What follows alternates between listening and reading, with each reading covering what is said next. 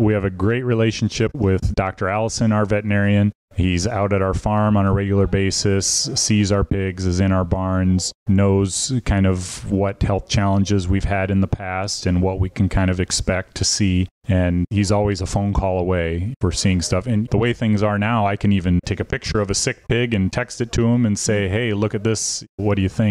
kind of thing. So, yeah, that's critically important because our veterinarians are the ones who are, you know, they're living and breathing this every day with animal health and they, they can help determine what's the most appropriate intervention. And in some cases, that might be an antibiotic. In some cases, it might be something else, just like aspirin or something like that. Right. Um, and so we want to make sure that we're being very judicial with our use of antibiotics because it's just a waste to use it for using an animal that's not that sick. Or if a pig has a virus, that virus is not going to be affected at all by that antibiotic.